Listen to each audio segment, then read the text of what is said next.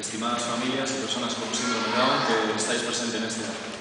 En primer lugar, como presidente de Down Valladolid, eh, me gustaría agradecer vuestra hospitalidad y, vuestra presencia un año más en este acto que para nosotros es tan importante como colectivo, que es el Día Mundial del Síndrome de Down. Eh, para nosotros es un día de, de celebración, de reivindicación y sois conscientes de que todos eh, acudís animados por participar en una fecha que es tan simbólica. Haciendo un poco de historia, en diciembre de 2011 la Asamblea General de Naciones Unidas designó el 21 de marzo como Día Mundial del Síndrome de Down. 21 de marzo, 21 del 3, eh, esa trisomía, esos tres cromosomas que hay en el par 21, eh, es por lo que se ha elegido esta fecha.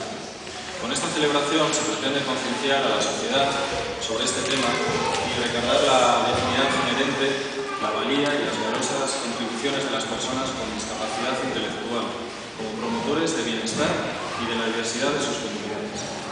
Esta convención, que es un marco de referencia, no crea ningún derecho nuevo, pero intenta establecer mecanismos para que se respeten de verdad los muchos que las personas con discapacidad ya tienen reconocidos. Y además se les da la consideración de auténticos derechos humanos, no de reconocimientos piadosos o bien intencionados. Ya no se trata tanto de sentir solidaridad o simpatía hacia estas personas o hacia las personas con discapacidad, sino directamente y de una vez respeto y reconocimiento como verdaderos derechos. Y aprovechando esta fecha simbólica, este 21 del 3, queríamos compartir con vosotros tres retos importantes que tenemos las asociaciones y que tenemos la sociedad en general. El primer reto es el reto del empleo.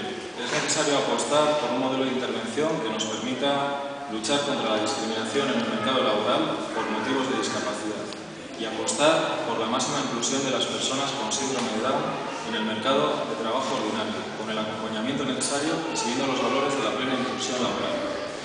Fijaros que nada me hace más feliz que echar de menos a algunos adultos que no pueden estar aquí con nosotros y no pueden estar porque están en sus puestos de trabajo. Yo creo que eso es un símbolo de normalidad y de inclusión.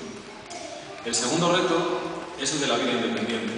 Eh, las personas con síndrome Down quieren ya eh, vivir de manera independiente, de manera autónoma y de tomar sus propias decisiones, con apoyo, con ayuda, sí, pero sus propias decisiones. Decidir sobre su ocio, cómo organizan el tiempo libre, dónde se van de vacaciones, participar en una vida pública con normalidad, que las nuevas tecnologías les sean totalmente accesibles, que evitemos la brecha digital y, en definitiva, como cualquier otro, alcanzar sus inquietudes, sus sueños y con esto llegamos al tercer reto, la inclusión, ese gran concepto, la inclusión de las personas con síndrome Down en todos los aspectos de la vida.